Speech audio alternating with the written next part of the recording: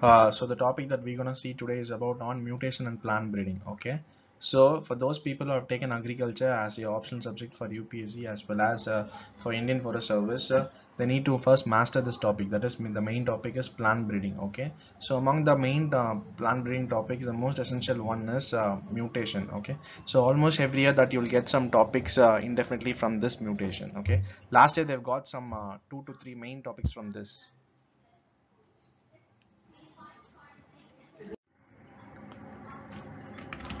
Uh, so uh, so mutation okay? So mutation according to the scientific term it's actually a sudden and heritable change in the character of an organism okay? So it is like an alteration in the uh, structure of a gene uh, that give rise to these changes.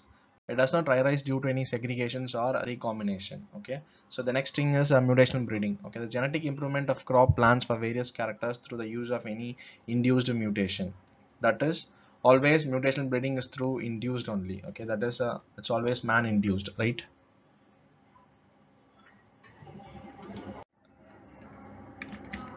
So some most important terminology when related to mutations are like uh, when the mutant character shows cytoplasmic or extranuclear inheritance it is known as cytoplasmic or plasma gene mutation okay? So the mutant character it gets varied uh, extranuclearly so the another term bud mutations or somatic mutation is used. Uh, it is to denote, denote mutations that is occurring in the buds or somatic tissues which are used for propagation. Example in such clonal crops etc. Okay. So the next topic is point pointer gene mutation. Uh, mutation that is produced mainly by the changes in the base sequence of the genes um, as a result of a base pair transition or transversion or deletion or duplication or inversion etc. or inversion etc. So this is called as point pointer gene mutation so the next uh, mutation is macromutation okay? So macromutation is nothing but uh, a mutation which produces a large phenotypic effect uh, recognizable on the individual plant basis. Obviously such mutations are oligogenic in nature and can be easily selected in uh, in the m2 generation okay? So uh, so contrast to that uh, it's a micromutation. So this micromutation has very small phenotypic effect that cannot be recognized because since the uh, mutation occurring at a micro level okay it is not recognized on individual plant basis. It can be detected only in a group of plants. So obviously macromutations are polygenic because uh, there is an evident of large phenotypic uh, difference when compared to this micromutation okay we have seen the uh, most important mutations in the before slides. So the overall types of mutations have been uh, tabulated here actually okay? So based upon the direction that is the first mutation is uh, forward uh, mutation as well as a reverse mutation okay? So the example of the forward mutation is when uh, wild plants grows into domestic plants. It is called as forward mutation okay? So when you want to uh, bring back the wild forms from the domestic forms then it is termed as reverse mutation okay and then uh, when the mutations occurs on the tissue level it is uh, there are two types. There are somatic as well as uh, germinal okay? Somatic you all know that uh, somatic means uh, body cell okay? Somatic means body cell okay? Um, that is a uh, mutation may occur at the leaves mutation may occur at the stem roots etc whereas germinal is always concerned with the reproduction okay? So it always it always occurs at the level of anther stigma pollen grains etc okay so sites. So we have earlier seen that uh, cytoplasmic mutation okay? So that, that is mutation occurring at uh, the extranuclear level is called as cytoplasmic mutation. Contrast to that there will have a nuclear mutation. Mm, character. Character is uh, the mutation which uh, produces any morphological changes it is called as morphological mutation. And when it uh, occurs at the level of biochemically uh, that is uh, when it alters the enzymes and all then it is termed as a biochemical mutation. So visibility we have already seen macro mutation micro mutation and uh, based upon the source of the mutation that is how you make this mutation to occur we have two types that is spontaneous and induced. Spontaneous is actually a nature that is nature induced mutation. That is you don't need any uh, any other extra mutational agent to uh, happen that process. Whereas an induced mutation is always man-made okay since uh, spontaneous mutations have any no significance uh, with the plant breeding induced mutation is very essential because it is mainly concerned with the plant breeding techniques So mutations may be artificially induced by a treatment with certain physical or chemical agents. Okay, such mutations are known as induced mutation. That is, it is very obvious from the uh, term induced itself. And the agents used for producing them are called as mutagens. Okay, uh, the utilization of these induced mutations for crop improvement is ultimately called as mutation breeding. Uh, mutation may be induced by uh, two types of things. That is, first thing is ionizing radiation, and the next thing is chemical agents. Okay. Uh, so ionizing radiation, uh, you all know that uh, there are various kinds of ionizing radiation. Of all the important ionizing radiation, X-rays plays a dominant role. Okay, um, because uh, the mode of actions is given here. That is, that is induced mutation by forming free radicals and ions. It causes addition, deletion, transition, and transversion. And there you have gamma rays. Okay it has very high penetrating and it is a non-particulate and it's a non-particulate it induces mutation by ejecting atoms from the tissues and it causes addition deletion transition and transversion then there you have uh, alpha particles um, it is actually a particle which is less penetrating and it is uh, positively charged if everyone know that uh, tagged by ionization and excitation process it causes chromosomal and gene mutation okay whereas the above two causes uh, uh, addition, deletion, transition, and transversion, etc. Okay. Then we have that fast and thermal neutrons. Uh, uh, there are particles uh, from the term itself. You know that they are neutrally charged. They are also highly penetrating. Okay. They cause chromosomal breakage and gene mutation. Okay. Then we will have finally ultraviolet rays. They are non-ionizing, low penetrating, etc. They cause a chromosomal breakage and gene mutations.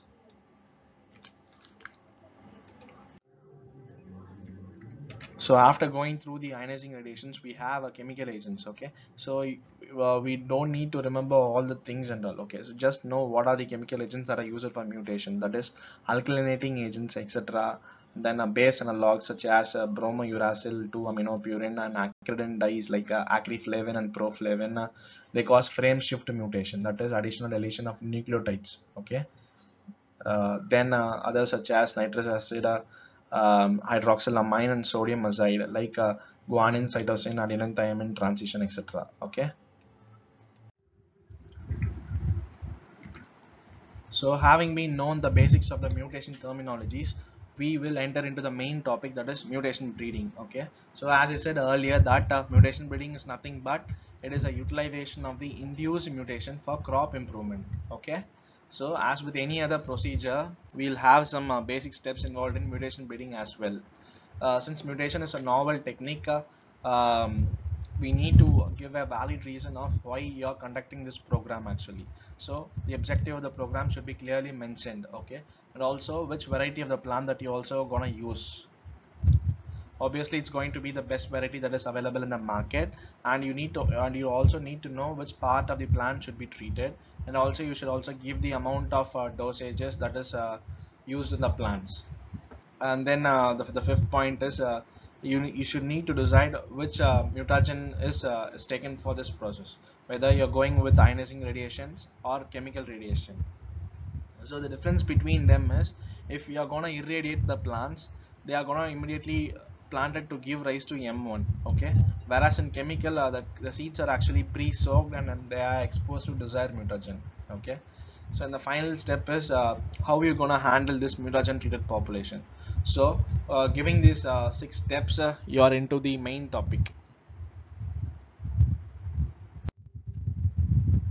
So uh, the next is the procedure of uh, mutation breeding okay? So mutation breeding process is mainly consist of four steps. The first step is obviously the choice of the material used. As i said earlier the best adopted variety of a crop should be used okay because it, it consists of all the acceptable agronomic features and then is choice of muta mutagen as I said uh, earlier, we have two types of uh, mutagenic agent. Uh, one is uh, irradiation and other one is uh, chemical mutagens. Okay, so the plant parts uh, so depending upon the plant parts that is going to be treated um, we're going to choose whether it is going to be chemical mutagens or uh, radiation. So if it is for seeds then uh, it is chemical mutagen. That is chemical mutagens are more preferred for seed treatment whereas uh, radiation uh, is used for uh, vegetative parts. Okay?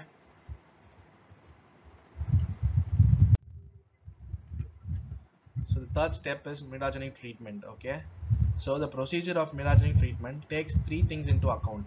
One is what kind of plant species is being used and how much amount of dose of mutagen is being used and how long the duration of the treatment is undergoing okay? So you you obviously know that in seed propagated species the seeds are generally treated whereas in vegetatively propagated species buds suckers or cuttings are used for mutagenic treatment okay? So before going on to the next step i need to ensure something about ld50 okay so this term is actually nothing but it is refers to the dose of mutagen that kills 50 percent of the treated individuals okay? It's like actually the lethal dose. So the duration of the treatment should always depends upon the intensity of the radiation. That is more the more the intensity of the radiation lesser the duration uh, as well as the concentration of the chemical um, mutagens. The fourth thing is uh, handling of the mutagen treated population. So after being treated with the mutagens uh, um, the seeds and the vegetative propagules produce a produce a unstable structure that is called as chimeras. So chimeras uh, what is chimera is actually an individual with one genotype in one of its part another genotype and some other parts okay? So this is an individual okay? So you have one genotype separately here another genotype separately here and one more genotype separately here. So it will have three different types actually. Three different types of genotype that is available in a single individual so actually this topic is not very much essential uh, because it, it deals with chimeras okay? So for those you need to know about chimeras you can have a little glance over this okay? So the shoot tip meristem usually has three functional layers. That is uh, L1, L2 and L3 okay? L1 always give rise to epidermis. L2 produce. L2 is actually the major part uh, of the leaf mesophyll and the gametes okay? So it is very much concerned with the sexual reproduction. L3 yields the rest of the plant body okay? So when whole of the L1 L2 L3 layer is affected the chimera is known as periclinal chimera. Whereas if it occurs only on a part of L1 L2 L3 it is called as sectorial chimera okay? So in sexually reproducing species only the L2 chimera is involved. Because L2 produces a part of leaf mesophylls and gametes so it is very understood okay? So um, so in clonal crops however all chimeras can be utilized. That is uh, you need to produce a clonal crop. That is all L1 L2 L3 can be uh, mutated okay?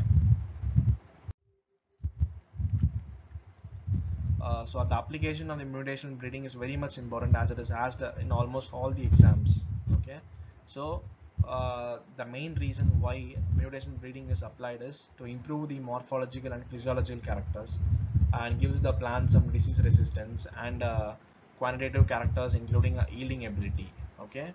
So the first step is always induction of desirable mutant allele okay? That is the reason why uh, mutation breeding is being practiced. And then uh, to improve some specific character of the variety without change in the genetic makeup. This word is very important okay? It's just giving uh, it just adds up some specific character of a variety without changing in the genetic makeup. And then um, improving various uh, quantitative character especially yield okay? Yield of the plant can be increased uh, substantially by uh, mutational breeding okay? And then you can also induce male sterility okay? So these things will be dealt uh, detailed uh, in uh, later topics. And then um, production of haploids by irradiating pollens. And then uh, overcoming self incompatibility so if you remember these six words then you can almost uh, make up the entire um, question having seen the applications of the mutational plant breeding there are some limitations that it also poses. The first thing is low frequency of the desired gene okay? The gene that we desire is actually in very very low frequency. And next thing is uh, we need to screen large number of population and this wholesome process is exhaustive okay? And then uh, it always produce pleiotropic effects pleiotropic pleiotropism is actually one gene expressing two or more unrelated effects which is actually a major limitation of mutation. And then uh, most of the mutation uh, will always yield recessive uh, allele okay? Uh, recessive allele. And then uh, identification of the micro mutation and all is very very difficult which also poses a strong limitation for a mutation. Uh, and then undesirable side effect due to other mutation such as and also some chromosomal aberrations. And finally even if you successfully uh, mutated a plant the problem of getting registered in the society is very very difficult due to the stringent laws that is being possessed on the Indian society okay? So that is uh, that is whole uh, the entire thing about mutation uh, mutation uh, the plant breeding techniques uh, its application and limitation okay